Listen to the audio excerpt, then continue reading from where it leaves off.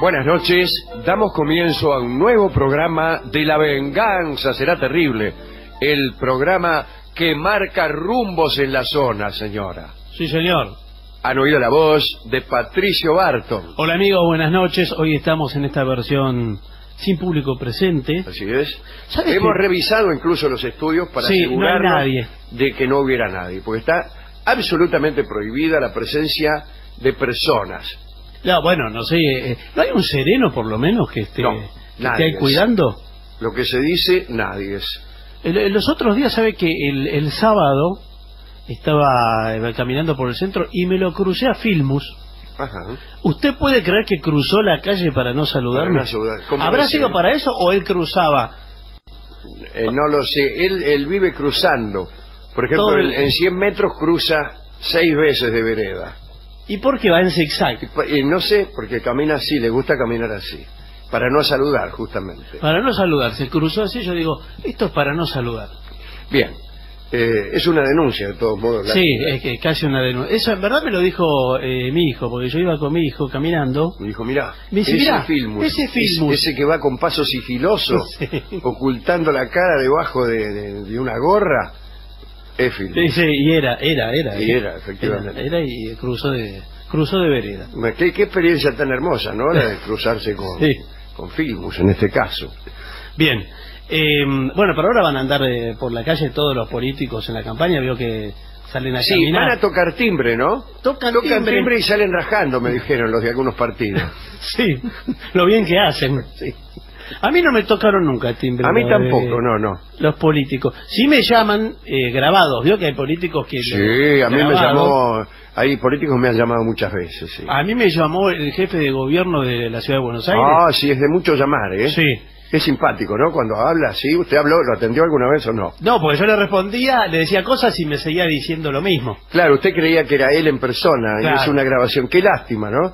¿Qué, qué le costaría llamar él en persona? Decir, buenas Y, tardes, que somos muchos. soy fulano de tal.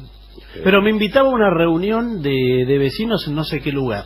Ajá. Que si quería participar tenía que ir a anotarme. ¿Y usted qué le dijo? Pero- Y no le pude decir nada, no le digo Claro, que, no, me- que claro. marcara uno que si quería ir o, o no sé qué. Mm. Algo ¿Y así. usted qué marcó? No, yo corté, no, no Ah, le cortó. No, no es que le corté Ah, a él, sí, le sí, corté, con le- razón. Debe estar ofendido, porque yo vi que está tomando medidas propias de una persona que está ofendida. Sí, y es con porque, nosotros. Es porque usted le, le cortó. O sea, ¿cómo le va a cortar en la cara No le corté en la a- cara. al intendente, señor? Usted es un maleducado. Es una grabación. Bueno, no sé.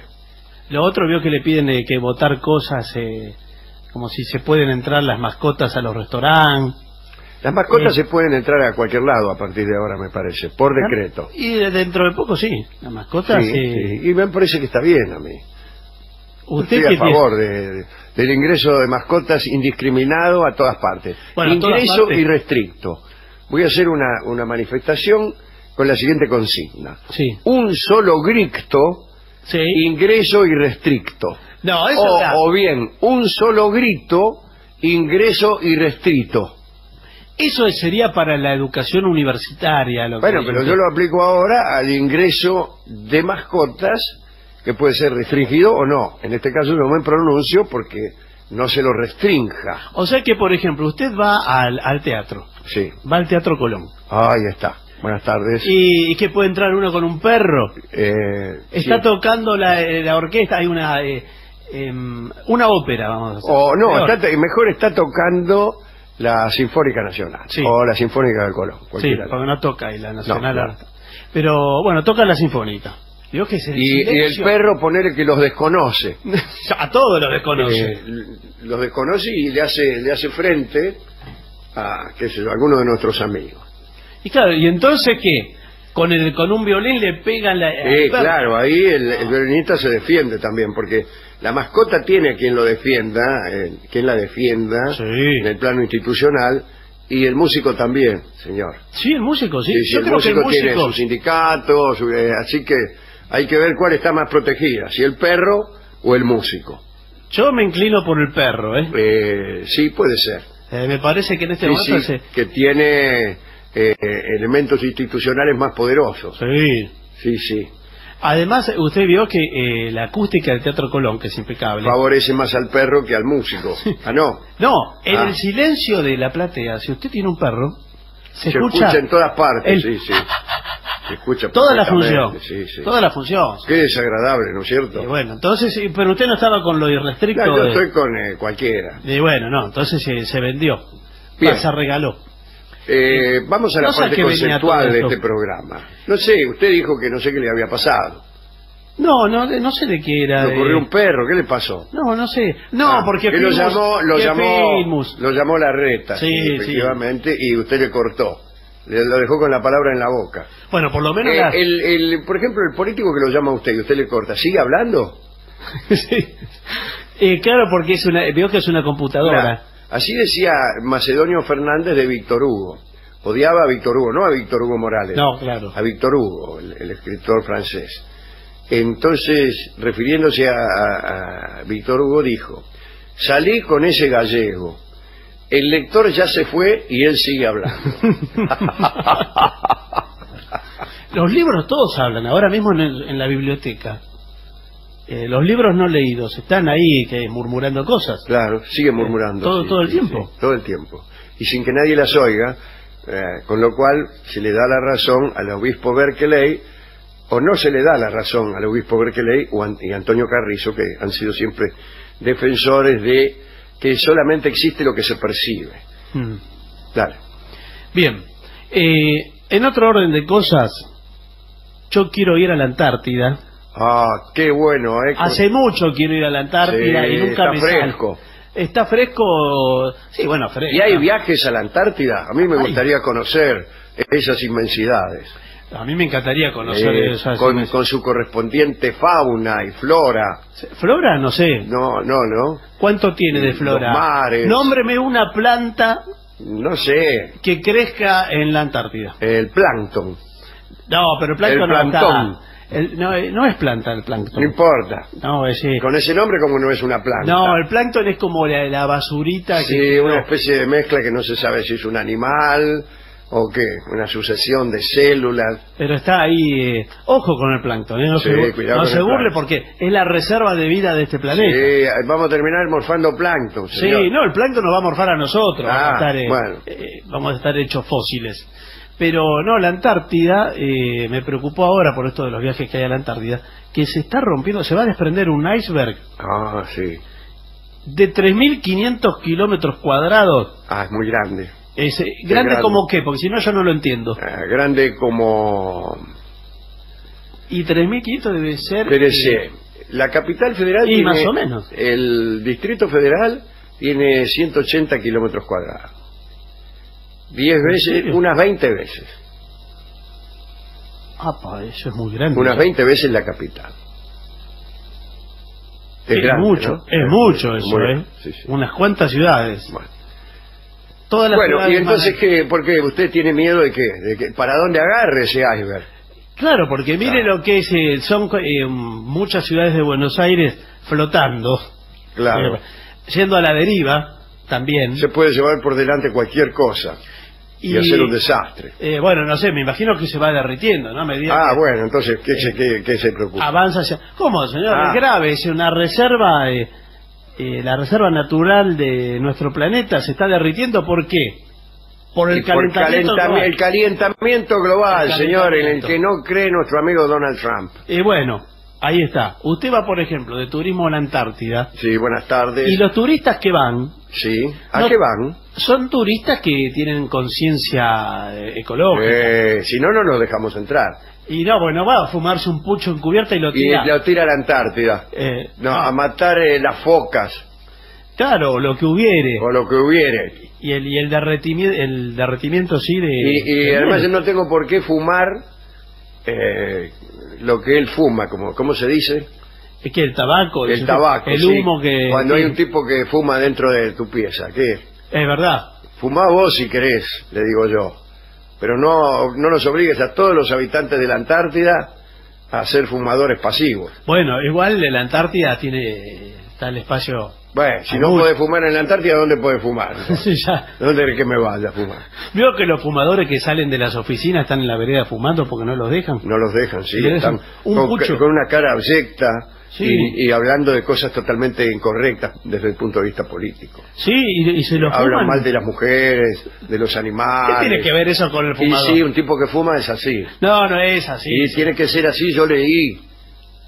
Pero está marginado socialmente el Claro, fumador sí, sí. Está Como total- tantas personas. Está marginado. El fumador, los viejos. Bueno, los viejos fumadores. Los viejos fumadores más que nadie. El viejo fumador es Sí, sí, sí. una persona que nadie quiere. Pero no, el fumador está ahí eh, como fumándolo de compromiso, casi como eh, de, de oficio fumando, porque no lo dejan entrar. Y si usted lo manda a la Antártida encima, con el frío que hace, Claro. el tipo igual está todo vestido de naranja, vio que en la Antártida hay que vestirse Hay de que naranja. vestirse de naranja, por eso no va tanta gente, ¿no? Porque vestirse de naranja también. Y bueno. Y rolón. Había gente que se vestía de naranja Sí, sí. hace poco. Es verdad. No, no trajo muy buena suerte ese color. Bueno, pero usted en la Antártida se tiene que vestir, es obligatorio. No es que usted Ah, va y Permiso. buenas pongo lo que quiero. Y dígame, eh, yo estoy pensando en hacer un viaje a la Antártida con mi familia para las Sí. vacaciones de invierno.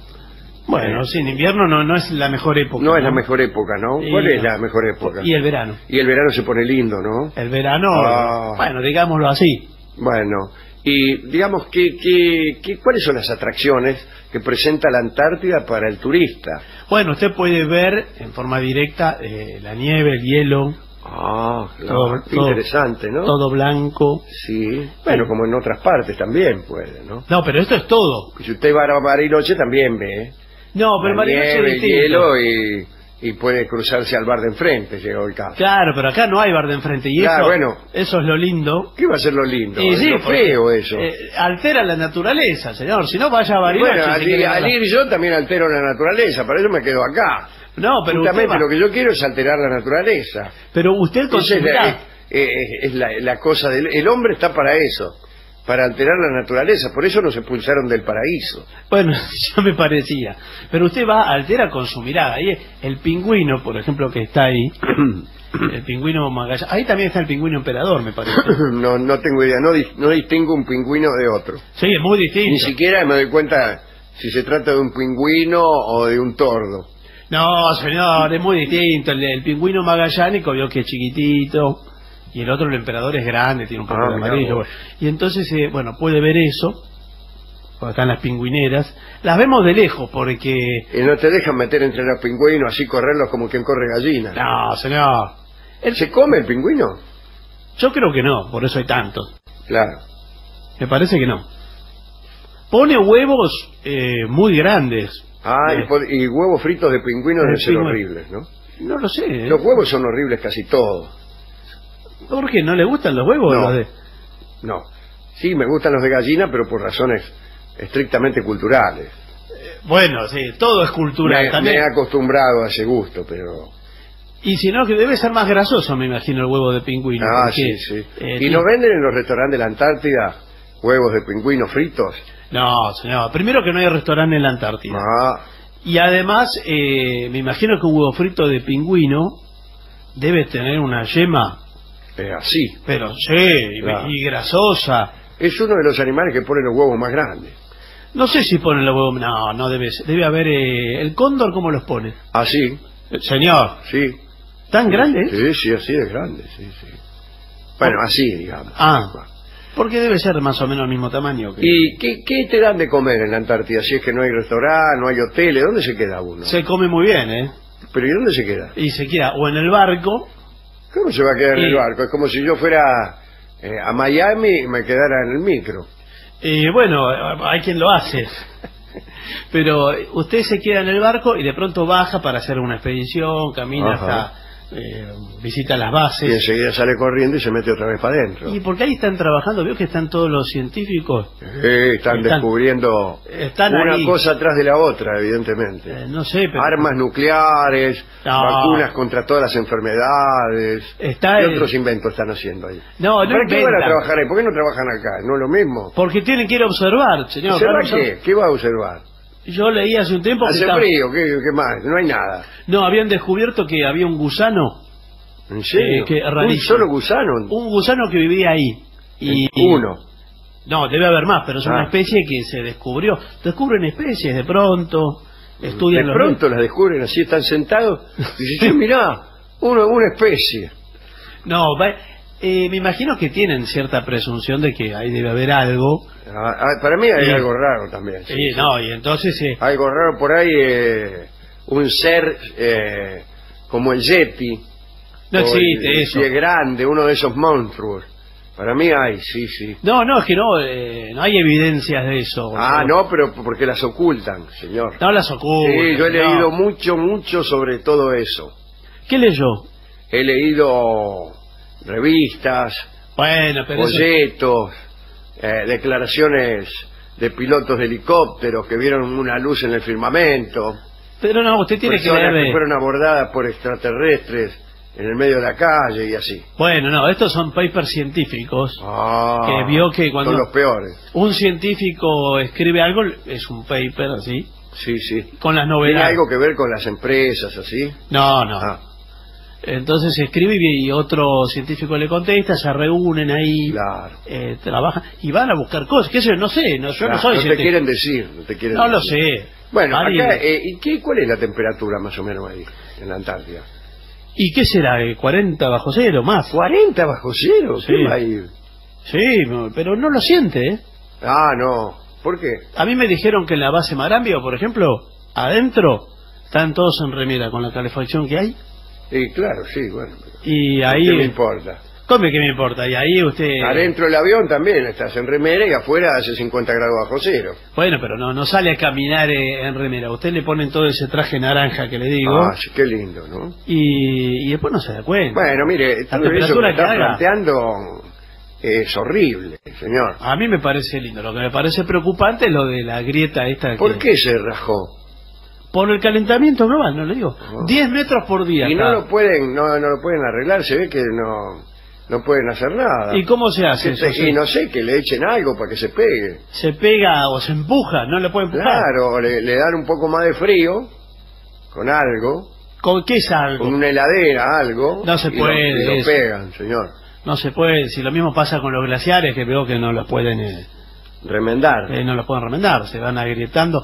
Hay eh, glaciólogos, veo que hay glaciólogos. No, hay gente realmente que No sé dónde se estudia el glaciólogo. personas que les pagan y no, no sé para qué sirve. No, sí, señor, estudia. glaciólogo, ¿qué es?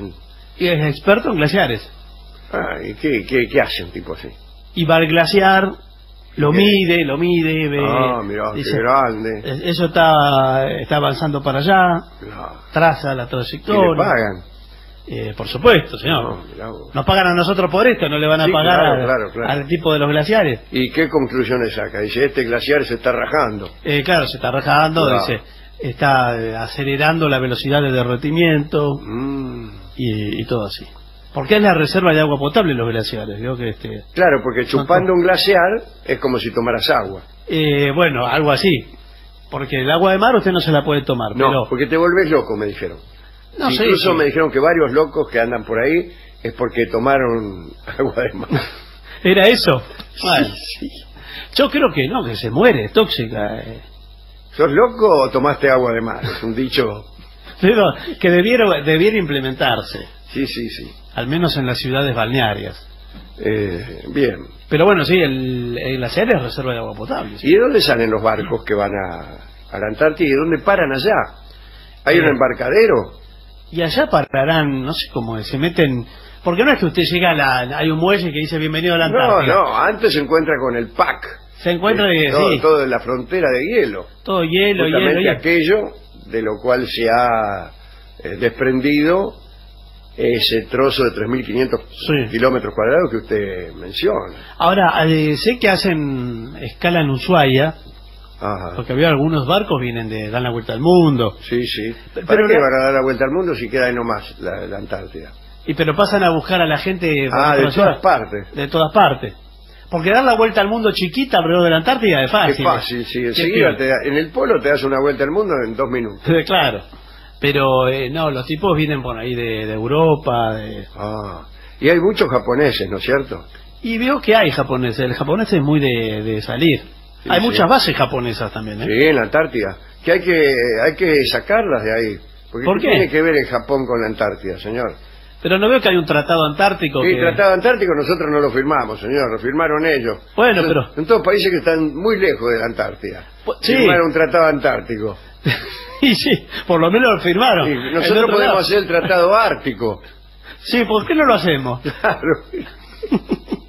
Qué raro que no, lo- no lo hayamos hecho. Y, claro, bueno. Sí, bueno, pero eh, es para hacer las bases, veo que tiene que ser una tierra de paz. Sí, paz y amor me parece también. No sé si amor. ¿No? Bueno. No, no sé si amor. Pero ahí los militares que están allá no tienen armas, no tienen nada. No, no, que a piñas nomás. Eh, sí, ese. no sé cómo laburan ¿Es a el lucha milico. o a, o a voceo que se pelea? No, no, ahí se... Porque yo cuando me peleo le digo, ¿a piña o a lucha? Pero... y- Sí, no, cuando se pelea con un taxista, por ejemplo. Yo no me peleo con Se baja y le dice, ¿es a piña o a lucha? ¿Y cómo es esa lucha? Y a lucha nos agarramos así. No, pero se ve que usted no se pelea nunca. Pero a, a Lo lucha, primero ¿no? que hay que hacer cuando uno se pelea con un tipo es saber si es a piña o a lucha. Pero si, uno dice, se agarra piña, Sí. y no son solo piña, es lo que vengan, señor, ah, ¿se bueno, entonces eh, lo que quiera. También te pones de acuerdo. Es patada, es todo. ¿Vale todo? Bueno, vale todo, macho. Listo. Eh, sí. Pará, momento, pido, le decís. No se pide ahí. ahí. Eh, bueno. No, no se pide. Eh, en defensa personal, Ah, buenas eh, tardes, sí, sí. vio que hay cursos de defensa personal. Sí, sí, yo me vengo a anotar justamente porque me la acaban de dar en la esquina. Y quiero saber si hay un curso rápido, así yo voy y lo agarro de nuevo al tipo. No, bueno, así instantáneo no es. Pero sí es importante, eh, como dicen en las artes marciales, utilizar la energía del otro, ¿vio? Ah, sí. El impulso del otro, Pero se fue. Usted. Ahora este muchacho. Bueno, no, si se fue, no, le digo a usted como Claro. defensa, no se trata de ir a agredir a la gente. Usted se defiende, le pasa algo por la calle, Sí. y bueno, le puede Y hacer... y el- le parto medio ladrillo en la cabeza. No, le hace una Ese- pinza, ¿eh? una pinza, Ah. Y con un leve movimiento usted lo, lo Pero deja. no es mejor una cosa así filosófica, uno le dice una frase y el tipo se queda ahí, se entrega. Bueno, pero estamos hablando de defensa personal cuando uno es agredido, sí, sería mejor. Claro, decirle, Una frase, ¿qué le diría? eh, cuando parece que voy es que vengo y cuando parece que vengo es que voy. Le digo con un ojo entrecerrado y el tipo dice, oh, maestro, qué sé yo. Yo creo que Y- el tipo lo... va.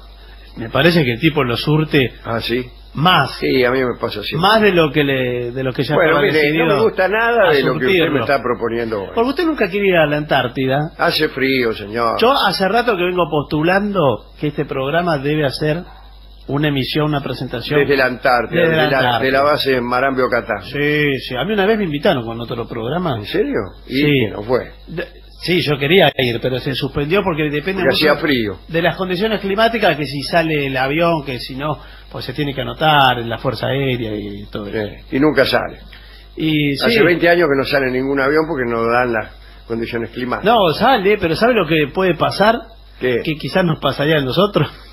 Que el avión salga, pero después no pueda volver. Ah, claro. Y nos tenemos que quedar allá en la Antártida un mes. Y hay que quedarse allá hasta que se pueda... eh, Sí, se empieza a acabar la comida también, eh, ojo, ¿eh? No, yo creo que hay víveres. Sí, eh. sí.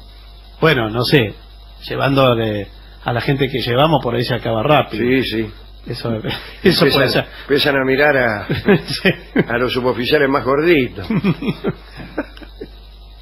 Bueno, vamos a ver qué dicen nuestros oyentes a través de los mensajes que nos envían. Sí, aquí hay mensajes que llegan al Facebook de La Venganza Será Terrible, sitio oficial. Estos que son más y después nos pasamos. Bien.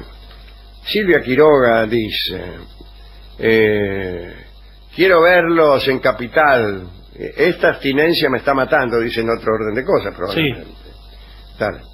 Eh, Marga Mayer dice, como nunca leen mis mensajes, no les escribo más. Tiene razón. Este, Barton, ¿querés casarte conmigo? Dice, a Dolina ya se lo propuse, pero no me leyó el mensaje.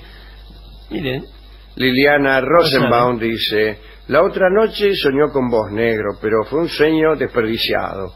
Viniste a mi casa, me arreglaste el lavarropa y te fuiste. Eso no es un sueño como la gente. Dice, tiene razón, un sueño de porquería. No sé, hay que saber interpretarlo, ¿eh? Eh, sí, ¿por qué no lo llama a Rolón y le dice que se lo interprete? Porque hay algo, o sea, en principio yo le digo, ella se siente sucia Sí. Porque, ¿Por qué quiere que le arreglen el lavarropa? Claro, porque se siente sucia. Siente, claro, que ha pecado. Se siente sucia. Sí, y, sí. y hay algo en usted que la redime de esa suciedad. ¿Y por qué es usted y no un Y no Rolón. y no Rolón? ¿Por qué sueña con usted y no con Rolón? Y eso hay que verlo. Bueno, Bueno, María. Carmen Toledo dice... Saludos, aunque no los lean, dice. Bien. ¿Qué están todos con que no nos Sí, leemos? qué sé yo. Tatiana Almendra dice, le quiero preguntar a Dolina, eh, ¿qué le diría a Wilson si se lo cruza rodando por Callao? ¿A quién? A Wilson. Sí, al de, al de la pelota. Eso. Justamente el otro día yo me estaba acordando de don Arturo Cuadrado, que era el, el, dueño de la editorial Botella al Mar, la editorial de poesía, y que lo conocí cuando yo era muy chico, y él mm, había conocido y había tratado a, a Unamuno.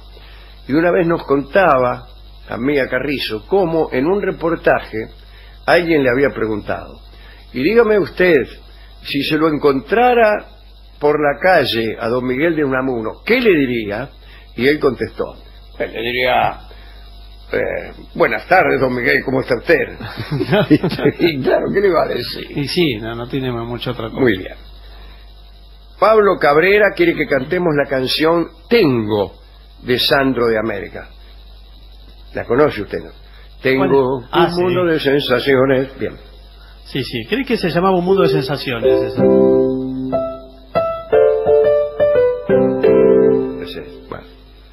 Francisco Giampietro dice, deposita aquí su mensaje, el cual será borrado sin leer, obviamente. Saludos.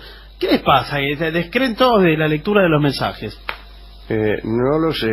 Bueno, ahora lo borramos. Antonio López Espielbergo dice, eh, que, sin embargo, soy una vieja que escribe ay, ay, ay y me salgo del Facebook.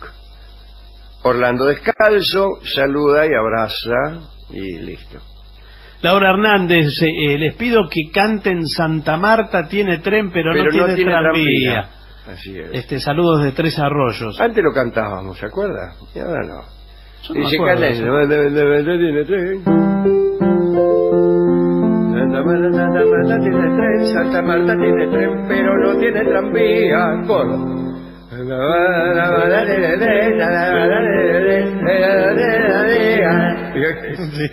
Esos coros que no, no pronuncian bien. Todos gangosos los coros. Sandra Sicora, hoy te fui a ver y seguí siendo un genio, dice. Patricio, otro ídolo. Gracias por hacerme sentir feliz, dice y se va corriendo. Sí, creo que es la hermana de Mónica, eh, Sí. que, este, que venía de Canadá. Bueno, dale. Eh, fulana, un beso. Fulana Majo dice, buenas, me sumo el pedido de pedacito de cielo, se ve que lo pidió otro. ¿Y qué va a hacer? Eh, y así. Que le salen muy bien eh, los valses, dice. Eh, Quiere valses. bueno, gracias. Verónica Cecilia Greco, saludos, eh, los admiro, bla, bla, bla, todas esas cosas. Bueno, no tengo más mensajes, señor. Bueno, entonces eh, creo que es el, el momento de hacer una pausa. Hagámosla.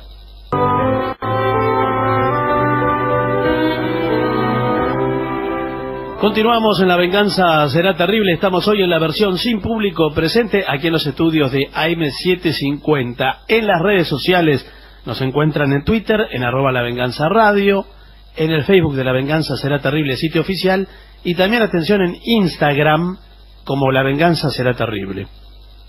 Hablaremos esta noche de las mentiras de los niños de Mora. ¿Dónde queda Mora? dirán ustedes. Ya veremos.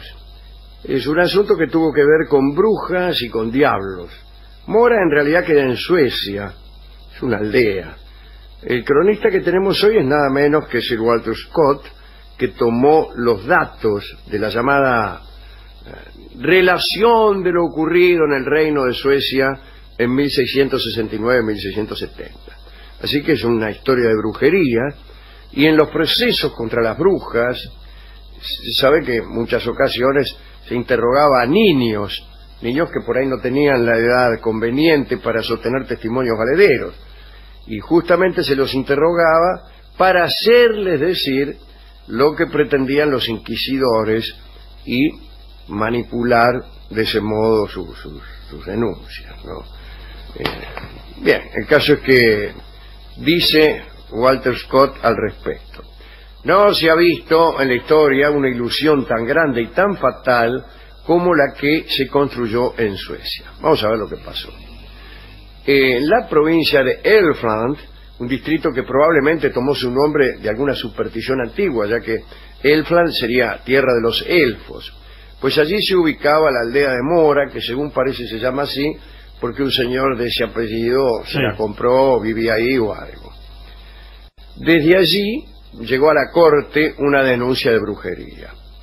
Así que mandaron dos comisarios a investigar. Muy bien. Las quejas de los pobladores consistían en que cierto número de personas, consideradas brujas y brujos, habían alistado centenares de niños bajo las banderas del diablo. Por lo tanto, pedían que se castigara a aquellos agentes del infierno. Sucedía que el comportamiento de los niños había cambiado. Parece que dormían más de, la- de lo habitual, dejaban de ir a la escuela y mostraban algunos espasmos corporales sospechosos. Así que bueno, ¿qué sucede cuando un niño deja de ir a la escuela, duerme más de lo habitual y tiene espasmos corporales sospechosos? Se hace estrella del rock and roll, dirá usted. No. No, está poseído por el demonio. Inmediatamente los funcionarios reales escucharon lo que decían los niños al respecto y 300 de estos niños, quiere decir que se trataría de una aldea muy considerable, refirieron un cuento lleno de absurdos ostensibles. Pero lo grave de estos absurdos es que recién fueron notados por los cronistas posteriores. O sea, cuando ya este episodio iba terminado, durante el, el juicio verdadero, todos se hacían caso de lo que decían los niños. Y fueron tomadas las declaraciones por ciertas. La más corriente de todas las historias era esta. Parece que las brujas enseñaban a los niños a dirigirse a una encrucijada y a invocar al diablo con algunas ceremonias.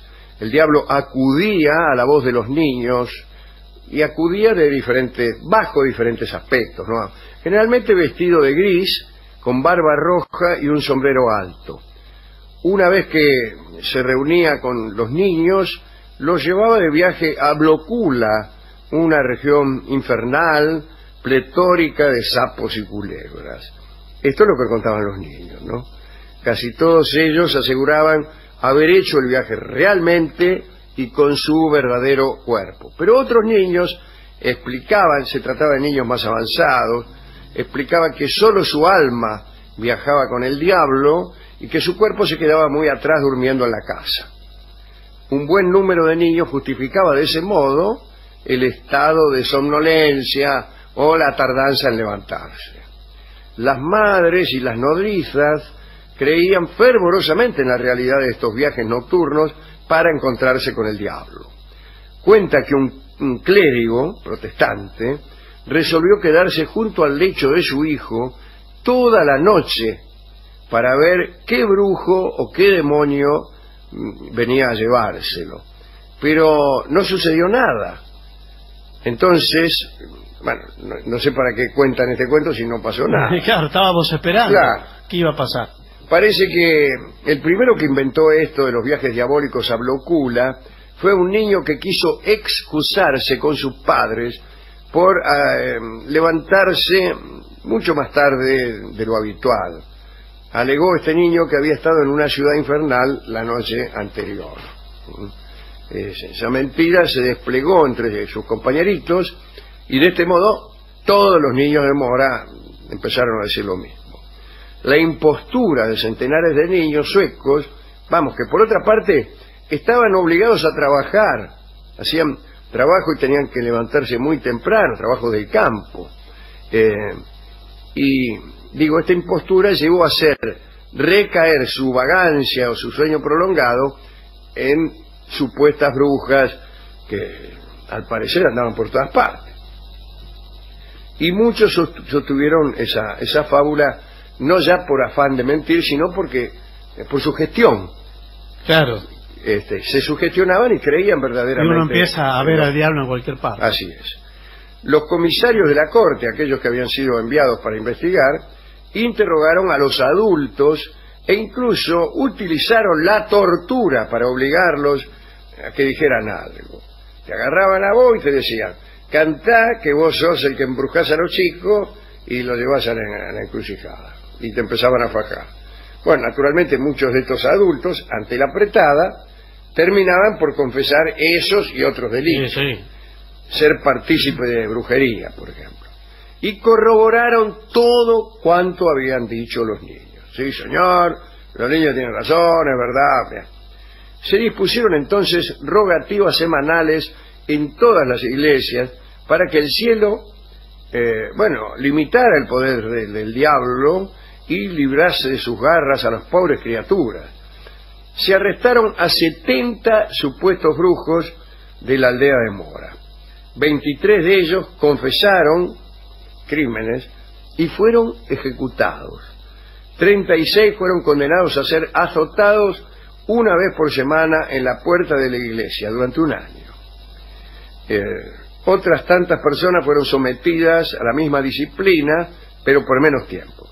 Quiere decir que aquella corporación de los niños de Mora se mantuvo en sus decires. Como se ha dicho, recién mucho después, otros escritos dieron cuenta de esta confabulación.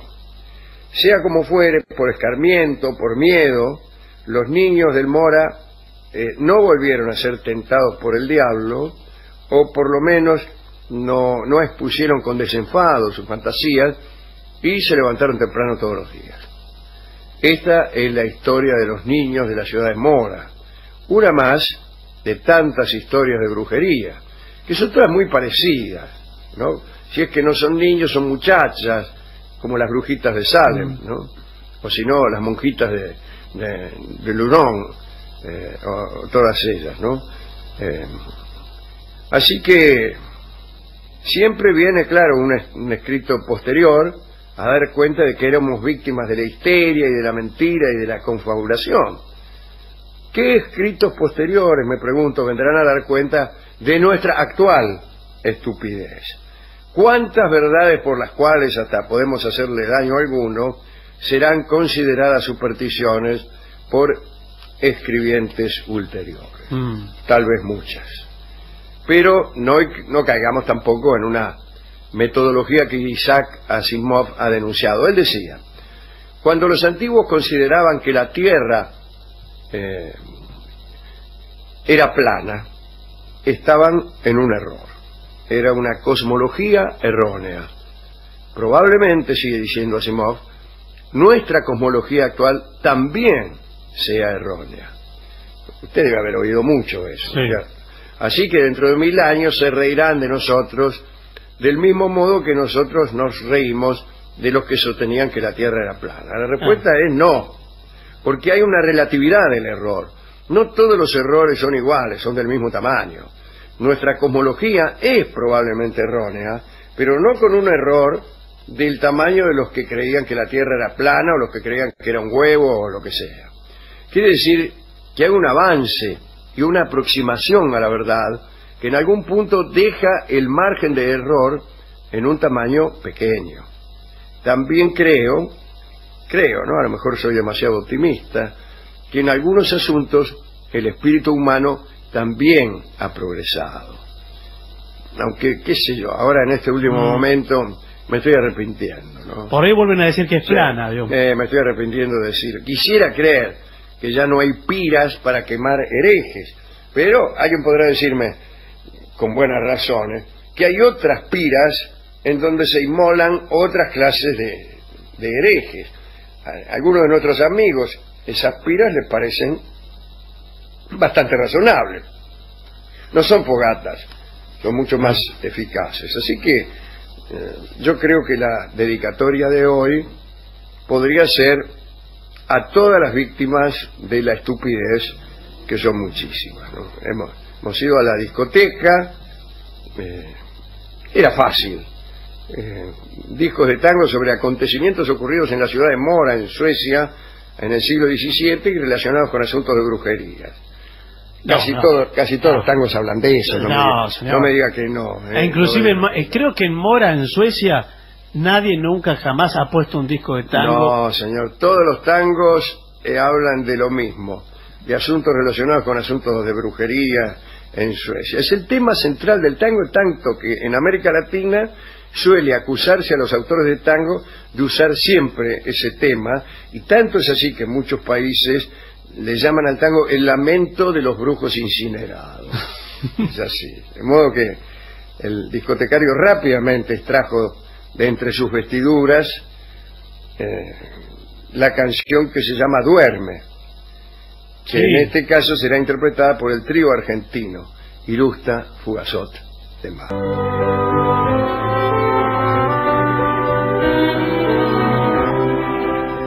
Continuamos en La Venganza Será Terrible. Estamos en la versión sin público presente aquí en los estudios de AM750. Les recordamos que dentro de relativamente poco vamos a estar en Montevideo el día 27 de agosto en el auditorio del Sodre. Y Están las en venta entradas, las entradas, ¿no? Sí, por Habitat, por el sistema. ese. Apúrense porque están quedando Quedan pocas. ya las entradas menos favorecidas. Sí, señor. Sí, sí, sí. Y también estaremos en Comodoro Rivadavia eh, en agosto, pero no me acuerdo bien qué día. El 2 de agosto, me dice 2 de acá nuestro sonidista. Y, y algo más por ahí que me olvide. Tenía ganas de decirle, pero como siempre me olvido de las cosas que tengo ganas no, de no me decir. diga nada mejor. Señoras, señores, este es el mejor momento para dar comienzo al siguiente segmento. ¿Cómo debo comportarme en un tren? Uh, Y especialmente en un tren de larga distancia. claro, un tren de Ah. urbano es fácil. Nos llaman muchas personas que van a emprender un viaje, viaje en tren, en otros países naturalmente, Sí. y no saben cómo comportarse ante la total ausencia de trenes en nuestro país. Aprovechamos para saludar a todas las personas que destruyeron el ferrocarril desde la época del doctor Frondizi hasta la actualidad. Ahora empezó a circular el de Mar del Plata otra vez. Sí, eh, sí, hoy. por suerte, Pero sí. varias veces empezó a circular otra vez y después... eh, Sí, y después lo interrumpían. sí. Sí, y así. Bueno. Pero bueno, tenemos que dure esta vez. Bueno, ¿cómo comportarse en un tren en el caso que lo hubiera? Sí. Eh, bueno, eh, lo primero es ayudar a los demás. ¿En qué sentido? Eh, por ejemplo, con las maletas. Cuando ve usted a una joven delgada, Sí. con una maleta que pesa 83 kilos, usted debe ayudarla. Pero la joven delgada ¿Sí? ¿Qué tal? no lleva maletas que pesan 83 kilos Sí. porque tiene ropa pequeña. No, no, Entonces pero- lleva un bolsito. pero lleva muchas cosas, lleva kilos de, de, ¿De qué? maquillaje, De cremas y eso. botas, A la bota sí, pesa. ¿eh? minifaldas. No, la minifalda no pesa nada. Bueno, ¿no? pero se lo agregué yo. Si ves que alguien solicita ayuda o no puede subir la maleta, especialmente a la parte superior, ¿no? A los maleteros Claro. que hay sobre los asientos, ahí, pero cuidado, ¿eh? Cuidado qué. Cuidado porque uno puede este, resultar avergonzado. Imagínese que Sí. usted no tuviera la fuerza suficiente para subir la maleta. A mí me pasó con sí. una ventanilla una vez. Eso, algunas son difíciles de abrir. son difíciles de, de abrir y yo me ofrecí, había una joven que infructuosamente trataba de levantar su ventanilla, eh, bueno, y yo me ofrecí, con permiso, le digo, discúlpeme, si usted me permite, eh, voy a ayudarla a cerrar su ventanilla o en todo caso abrirla, Sí, no, bueno, porque yo tampoco sabía qué es lo que quería. hacer algo. Ah, dice, no, la quiero, la quiero cerrar. Bueno, muy bien. Muy bien, dije yo. Por favor, eh, Está haga- bien, señor. hágase un lado. Muy bien. Escupí las manos, Por favor. pensando incluso que después, al ver eh, mi fuerza hercúlea, esta mujer in- inmediatamente iba a tratar de establecer una relación íntima conmigo. Ya, bueno, mire, no, no hay un efecto así Yo me imaginé que yo le cerraba la ventanilla y la mina decía, ah, qué maravilla de hombre es usted, cómo me gustaría intimar con usted del modo más desvergonzado. Eso no ocurre, ¿Cómo señor, no, no? ocurre nunca. Pero resulta que no pude cerrar la ventanilla, porque estaba muy, muy dura. Entonces, ¡eh! eh! sonreí, Sí. momento, me volví a escupir las manos, Toma impulso, ¿no? la- y le- esta vez le di más fuerte, más fuerte. Eh, no se abrió. No se cerró. No. no ah, no se cerró. Claro, la tenía que A lo cerrar. mejor sí. Era para el otro lado. Para mí era que tenía que abrirla, pero bueno. Era por abajo, Palacio. Eh, a todo esto había un tipo ahí que estaba eh, que me miraba con sorna. claro. Y yo lo miré al tipo y le hice así como, como, ahora vas a ver. Entonces me saqué el saco, me arremangué bien Mm, y, y me tomé una pastilla energizante. que no le hace efecto eso. Eh, esperé un poco para que me hiciera efecto. Eh, Ahora va a ver cómo la cierro. Hacía un poco de tiempo, ¿no? Entonces, eh, nada. Hasta Mm. que al final dice, bueno, me voy a jugar el todo por el todo. Voy a hacer una fuerza como nunca hice y... Me desmayé. Señor. Me desmayé, sí, sí. ¿Y quién, le, quién lo atendió? Nadie, yo cuando volví en mí, estaba, me habían sentado en un asiento cualquiera y estaba la mina en su asiento con la ventanilla cerrada ya Mm, y hablando con el otro tipo. Con el tipo que miraba Con con, el tipo que sorna. miraba. Entonces agarré, yo con la cola entre las piernas, eh, me fui. Eh, no, ay, qué Me triste. fui a otro vagón, me fui. Qué Muerto triste historia. Sí, sí, muy, muy triste. Por eso, ¿sabe lo que tiene que llevar encima el, el caballero contemporáneo? No, Ese spray que le afloja todo. Acá no podemos decir. existe eso. Sí, yo lo tengo. Usted, ¿Lo eh, tiene? Tengo siempre encima eso. Usted tira, psh, psh, le afloja eh, cualquier cosa. Digamos, eh, una negativa la, la afloja también o no? no, eso no. Pero le, las ventanillas, las tuercas, todo Qué eso. bueno. Le tira ahí el, eh, ese producto que tiene dos consonantes y. Dígamelo. dos- que se llama WD-40. Ah, no lo, nunca lo escuché nunca. Le tira. Sí, es- Y si te lo respirás, por ahí se te afloja todo por dentro. A mí me impresiona. Ese es el problema. ¿Qué ¿eh? será lo que tiene esa Sí, cosa? para mí es algo prohibido. No, no sé si es Pero prohibido. ¿cómo? Usted le tira eso, poner estar en un avión, le tira eso, pero ahí se le aflojan los remaches al avión. Sí, se le pesa, se le salen las ventanillas Claro. porque le- se le dilata todo. Se afloja todo. Está, está todo flácido. Bueno, dice, después, no le ocupe el asiento al compañero de viaje. Oye, que le Sí. La mano encima, el pie, No. lo ocupe con libros, con comida, encima, y viene el tipo a sentarse y usted ya se lo ocupó.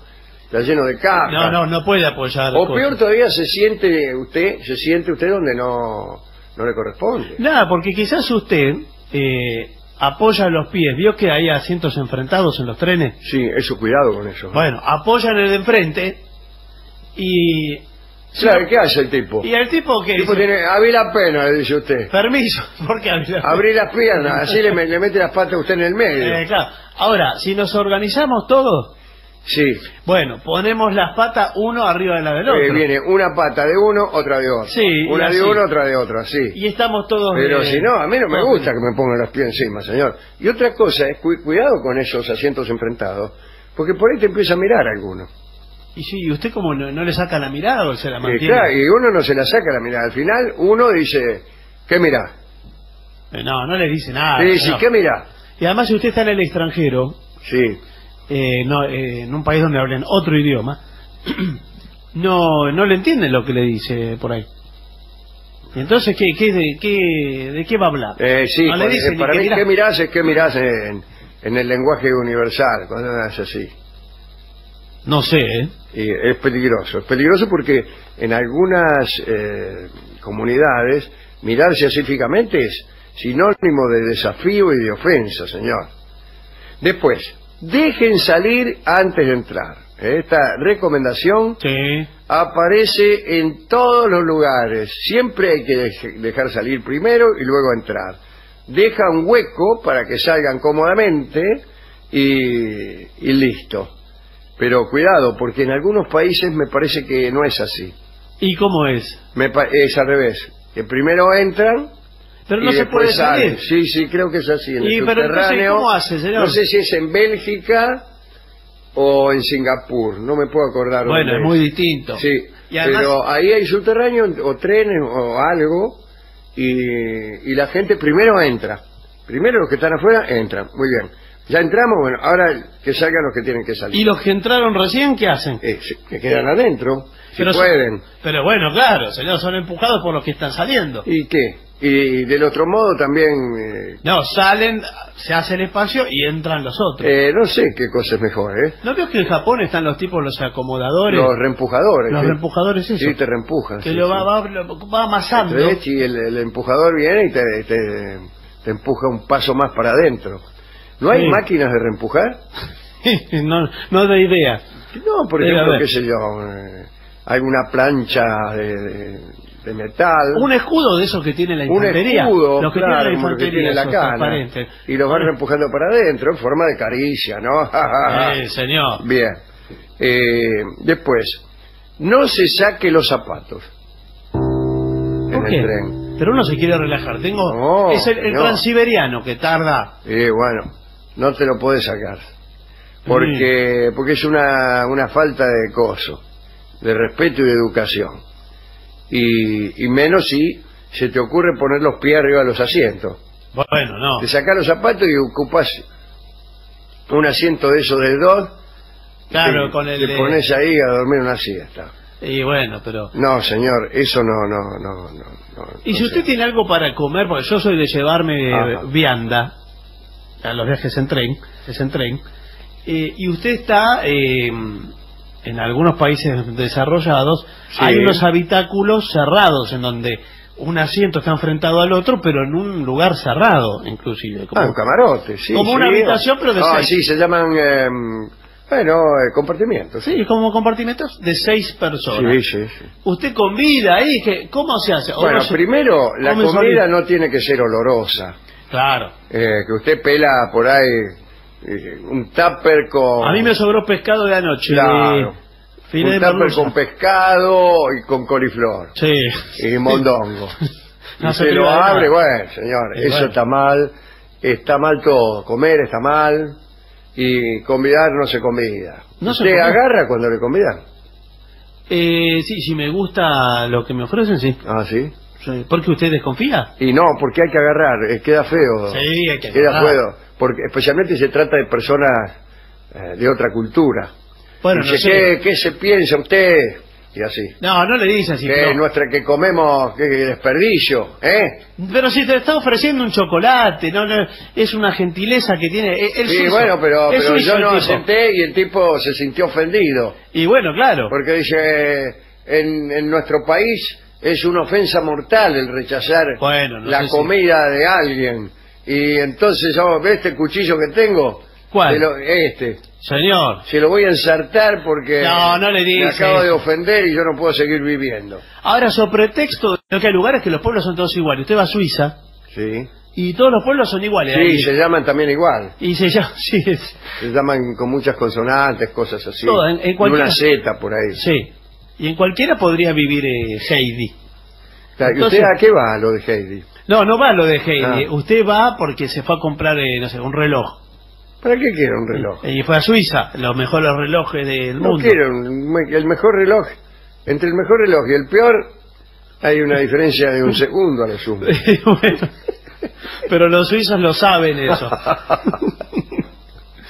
Y entonces eh, usted se puede confundir de pueblo si no le dice a alguien dónde bajarse. Cuando eh, quieres, si quieres abrir la ventanilla, creo que no se puede, ¿no? En el tren bala. No, es fija. Buenas tardes. Es como el avión. Ah, no se puede abrir, ¿por qué? Esto, porque es insonoro, vio que si no, se- si se le mete, por ejemplo, con la ventanilla abierta, Una mosca. una mosca le perfora un ojo. Sí, sí. Te mata. Bueno, Una mosca entre ceja y ceja te, te agujerea el cerebro. Quedé sentado ahí, chao. Chau, ¿qué? Estoy saludando. No, señor, le estoy diciendo que, por favor, seamos serios, ¿no? El, tren bala, si no se le llena de aire adentro. Y, Y levanta vuelo. y se- no sé, se despresuriza como el... eh, No, para mí son los objetos pequeños sí, se que le podrían entrar eh, a 300 por hora. Que además se le vuela todo. Usted estaba leyendo el diario Sí, claro. tranquilo. Sí. Y abre un tipo la ventanilla y se le vuela todo. Y se le vuela todo, señor, las papas fritas que está comiendo. Ah, todo. qué horrible, ¿no es cierto? Dice, bueno, y ¿hay cobertura de móvil, de celular? ¿Del celular? Sí. No, no hay en la ciudad, quiere que haya dentro de un... eh, Ah, porque estamos jugando en el medio campo, ¿no? No, igual creo que tienen servicio de wifi. Ah, sí. Vio en el ¿Cuál es la, la contraseña? La contraseña eh, tiene para anotar, porque todo en, en, Sí, eh, tengo para anotar. Ay, no, dígamelo que me lo acuerdo de memoria. es en suizo-alemán. Ah, Son eh, 83 consonantes y una vocal. ah, qué lástima. Bueno, no me importa. Y entonces, bueno, la tiene que... Peor en Noruega y eso, en los países nórdicos que tienen esa O tachada, ¿vio que tienen una O? Ah, sí, tiene muchas más letras que nosotros. Ahora, en el Japón me han dicho que hay tanta gente en los trenes bala Sí. que van colgados, igual que aquí en el, en el San Martín. ¿Van colgados de afuera? van sí? colgados, pero va a 320 por hora. Sí, señor. Así que pega una curva el tren bala y todos los que venían colgados, ¿saben cómo salen? Desparrama. Desparramados por los campos aledaños. A todos los japoneses, por Sí, eso sí, tienen los ojos así, del viento en contra. Sí, sí. No, yo creo que esto- están cerrados esos trenes. ¿eh? Veo que hay unos que son como eh, que vienen colgando, como monorrieles, pero al revés, que cuelgan del techo Ajá. y van a toda velocidad también. Pero eso no, son prototipos, no hay. Pero yo creo que sí que hay, ¿eh? en Japón, en, en China, en Corea, en Para mí de no hay, para mí son Para mí sí. suyas. No, ¿Cómo lo van a sí. colgar del techo? Lo- Los Que- de que- una... y, te bajás y te caes al abismo. No, después la estación está eh, también arriba. No hay más lugar abajo, señor. Todo tiene que ser arriba. Claro. Todo y, acá y abajo tienes- que la gente lo ve pasar y los de arriba me imagino que tiran cosas. Tiran durazno, naranja, todo, y la, la gente abajo. y- No, tiene, eh, acá lo nuevo tiene que estar colgando, porque no, en esta ciudad no hay más lugar. Todo, todo tiene que ser. Me dijeron que van a hacer un hotel colgando, ¿no es cierto? Y, eh, sí, lo vamos a hacer. Ah, sí, sí. ¿Ya lo están haciendo? o- Ten- eh, primero, a mí me- todo lo que, esté, lo que esté colgando me encanta. eh, bueno, porque esto va a tener, eh, se inspiró en un, en un arquitecto, el arquitecto, mejor dicho, se inspiró en la jaula de los pájaros que cuelga de un, de un gancho. Ah, Entonces mirá. vamos a hacer todo el Menos hotel. mal, si no, nunca hubieran inventado el tren. Van a hacer todo un hotel colgando. eh, como una jaula de pajarito gigante. el hotel colgando se llama, El hotel ¿no? colgando, sí, sí. Eh, y eso, bueno, primero hay que hacer el, el edificio para soportar eso, ¿no? Claro, sí, que si no lo soporta, mirá si te cae justo el hotel arriba. No, por Nadie eso. pasa por abajo por, por miedo a que se descuelgue el hotel. Cuidado los días de bien, mucho viento, porque Claro, empieza a balancear el hotel. no se puede dormir. Ah, qué horrible. El hotel Colgate, ¿no? Sí. Colgate Palmolive. Está usted ahí, eh, porque además pusimos en la confitería mesas de pool. Ay, no. Y bueno. Las bolas se mueven solas. Sí, no, no fue Y buena sí, idea. Y no fue entran todas en el mismo agujero. Sí, Este. sí, señor, la verdad que no, no, no fue buena idea la de esa mesa de juego. Bueno, lamentablemente vamos a tener que hacer eh, una pausa, me parece a mí. ¿Hay vagón restaurante? Sí, desde luego. Ay, ¿qué? Si no, no es tren de larga distancia. Claro, bueno, pero como eh, este tren llega tan rápido y en los, en los restaurantes se tarda tanto, Sí, tarda, tarda. la, y tar- tarda mucho más. Hay demora porque veo que le dicen como atenuante. Mm, En el restaurante le dicen, porque lo hacemos todo en el momento. claro. Yo le dicen así, usted pide un eh, cualquier eh, cosa, le, ravioles a la boloñesa. Bueno, tiene demora, ¿eh? Porque acá todo lo hacemos en el momento. ¿Y, y qué, qué esperaba? ¿Que lo trajeran Claro, en no, el pero, bolsillo hecho ya? pero ¿desde qué etapa lo hace todo en el momento? Porque si hace el relleno, Claro. va a tardar. Ir, ir a, la molienda del grano y todo eso. Sí. No, eh, eh, a mí me han dicho que en este ferrocarril a veces se atrasan las cosas. Vos llegás y todavía no, no está tu plato. Entonces Claro. esperás que vuelva a Madrid y que Ah. vuelva a Barcelona y ya cuando regresan ya vas a la estación y te lo comes. Pero si ya no tengo ganas. No, señor. claro, bueno. No me interesa. si usted le tiene que poner un poco de Y bueno. un poco de onda a usted, ¿no? ¿Qué, qué cree? ¿Que todos lo, lo- lo tenemos que hacer los demás? No, no digo todos los demás, pero el servicio del tren, vio que hay trenes que tienen eh, las máquinas expendedoras. ¿De qué? De lo que fuere, usted toca el botón y le sale un sándwich, un No. yogur. Yo que tomo- eso. yo me tomo un yogur con cereales, por ejemplo. Sí.